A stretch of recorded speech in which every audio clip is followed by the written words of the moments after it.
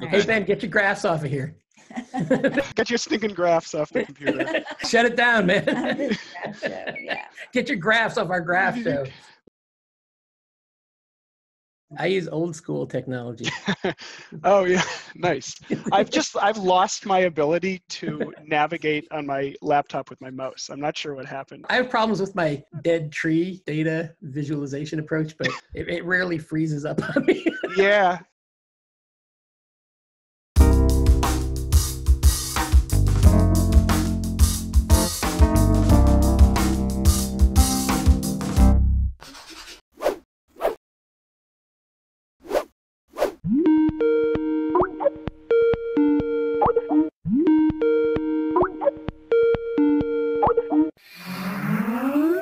Hey, Okay. Jeannie, Yeah, Brew. I was thinking, What were you thinking? I was thinking about the Energy Nerd Show and how it's just like Mr. Rogers' Neighborhood. How? Well, it's a great show, obviously. But other than that, it's kind of like they get Fred, and this show has you and me, and they've got the land of make believe, and we have like reality and facts and data, and um, they have trains and funny puppets, and we have nerds and graphs. Yeah, kind of just like it. We got any nerds today?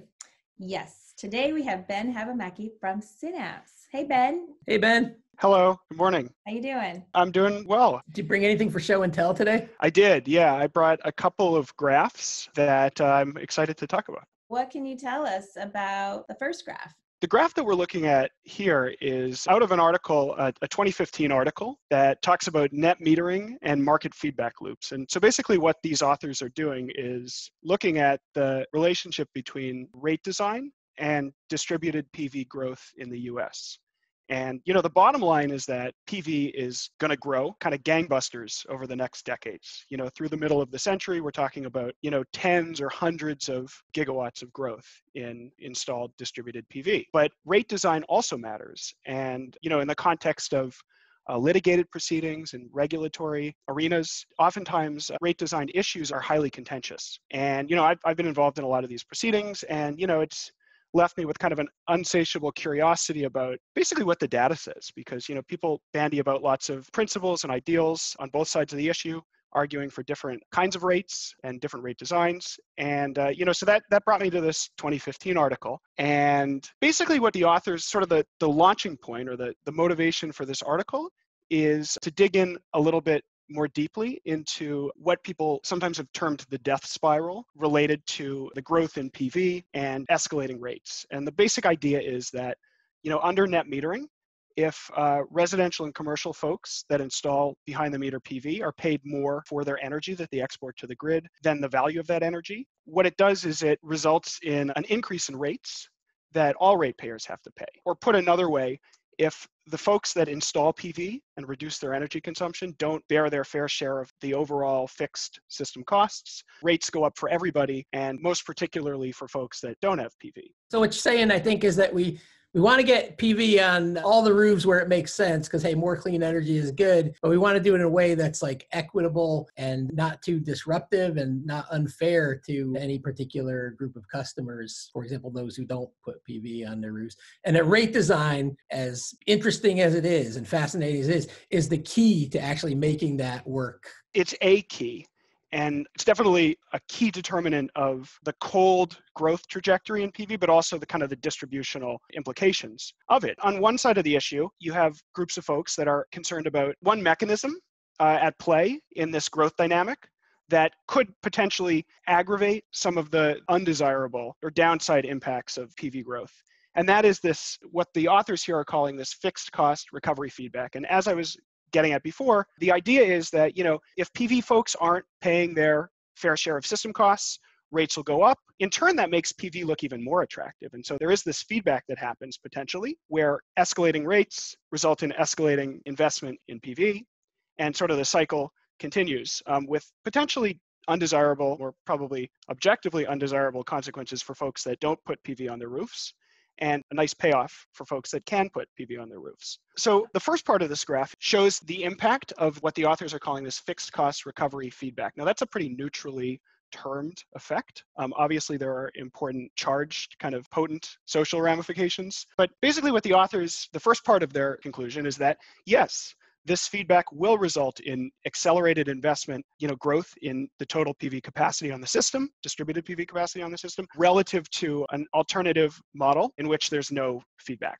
And to the order of you know 8% by mid-century so it does make a difference and you know behind this escalated growth in pv with the feedback in play is potentially some negative rate ramifications. So the line at the bottom of that graph, though, the time varying rate feedback, does it surprise you? Well, first of all, can you explain it? And second of all, does it surprise you that leads to a decreasing uh, implementation of PV? Yeah, this is the second part of the story. And this is, you know, from the author's perspective, an area of research and a mechanism that's received relatively short shrift. And just to remind you, this is sort of all assuming a net metering construct. That's an important detail. But the basic idea is that there's this kind of countervailing feedback that can sort of cool off and regulate the system uh, and offset the fixed cost recovery loop. And the idea is that, you know, as more and more PV is installed on the system, we can actually see the peak shift such that the value of the energy provided by the PV to the system falls. And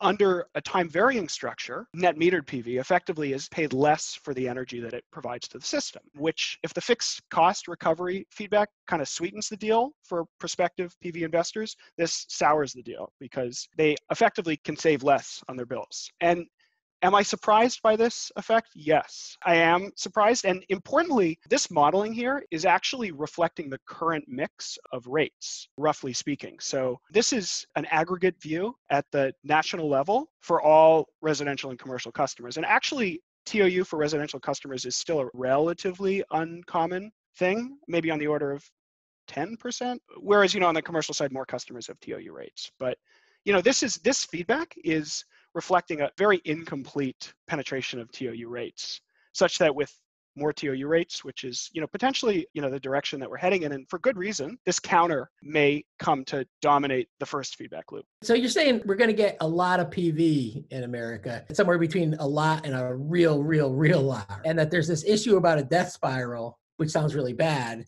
but there are ways to kind of manage this and handle the cost allocation and rate issues in a way that is more equitable and doesn't disrupt the system in the same way. The bottom line is PV growth will be massive, kind of regardless of, you know, what rates we have in place and by tinkering with the rate design, yeah, we can like have our cake and eat it too. That's a really cheesy takeaway, but it's true in this case that PV is, you know, the good news for for a lot of reasons and for a lot of folks and we can ensure through careful and deliberative rate design that we share the kind of blessing of PV with both folks that you know are able to put it on their roofs and folks that aren't or choose not to for whatever reason.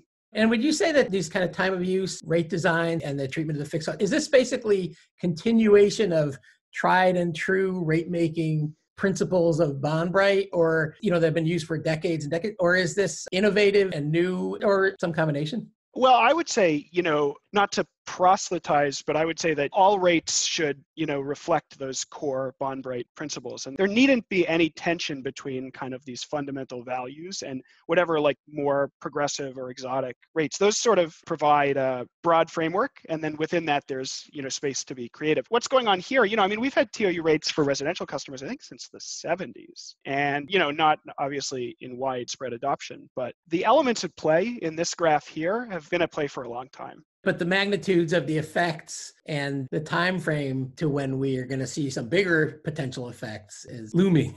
Yeah and to kind of put it in larger relief we can go on to the next graph and talk about what the implications of uh, you know these different rate designs are. In this second graph the authors take a broader view where they're looking at the impact of different rate designs on distributed PV growth through 2050. And importantly, they're accounting for both of these feedbacks that we just talked about and looking at how those feedbacks in conjunction with different rate structures will impact the amount of PV on the system.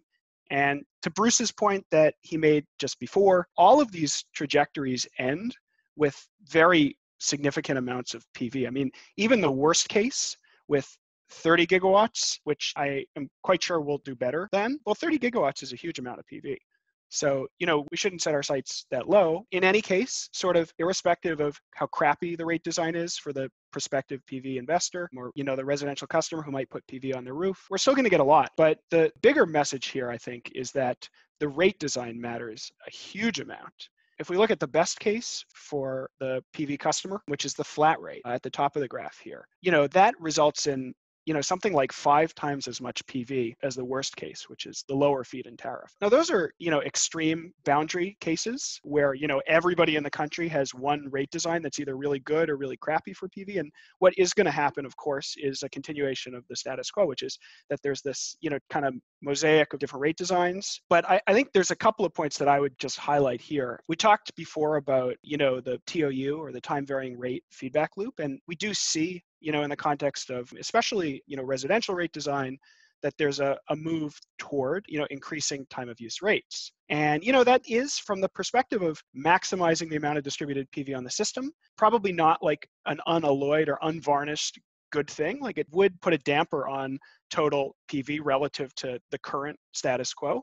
We can see that here. If we look at the reference case, it terminates in 2050 at you know nearly 160 gigawatts, and that's with the current amount of TOU. The TOU case, which is this kind of dashed and dotted blue line, ends at about 120 gigawatts. So, you know, it's something like 25% lower with all customers on TOU. That being said, there's good reasons to support TOU. And I think a key message here is that we're balancing multiple competing priorities. Right. But for policymakers, if people are talking about we need more time of use rates, if someone argues it'll increase rooftop PV? The answer is pretty clearly no. Well, I think it's a little more nuanced than that, especially in the early days. In early days, you know, in other words, now, you know, the next several years, and more kind of geographically, specifically in areas that don't have tons of PV already on the system, TOU rates might actually be a spur to PV adoption in the early period. And that's simply because, you know, without a ton of PV on the system, in lots of places, PV is relatively coincident with the system peak. So it actually does afford people an opportunity to save money. That feedback, that negative TOU feedback, really only happens when there's more PV on the system. It's not a bad thing in the early days, and it could be a way to sort of modulate and you know assure that people pay their their fair share, which is admittedly like an easy thing to say, but unavoidably controversial when it comes to litigation.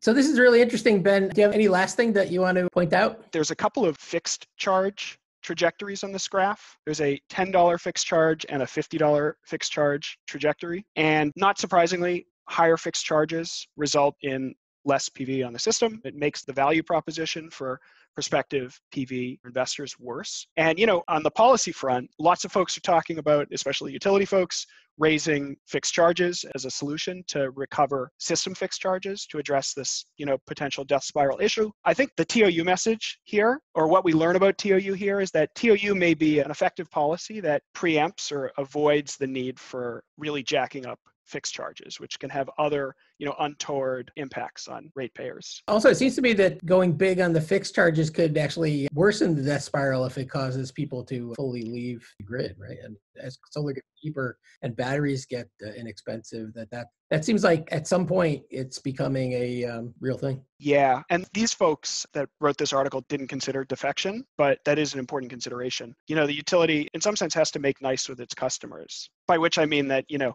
there has to be some kind of you know settlement that suits everybody some value proposition to uh, being connected to a grid exactly thanks for being on the show this is this is fun talking about um, defection and death spirals and uh, scenarios with 100 gigawatts of pv thanks for having me thanks ben see ya see ya Thanks for watching. This is Energy Nerd Show and Tell. It's the show that we want to watch. So we're thinking maybe some of you energy nerds want to watch it too. Um, if you do, then uh, hey, uh, tell your friends and subscribe right around here. Click there. And check or there or, or over here. Instagram and Twitter and Facebook and YouTube and where Yeah, and the Energy Nerd website at energynerdshow.com. You can always go there. And if you want to be a guest, you can uh, volunteer to be a guest. We, we love to have guests. In fact, that's kind of what the show is all about. Absolutely.